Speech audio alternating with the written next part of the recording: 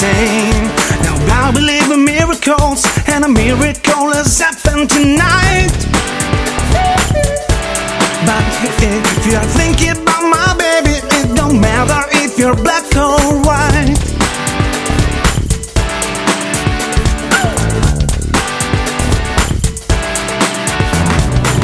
They bring my message in the Saturday sun.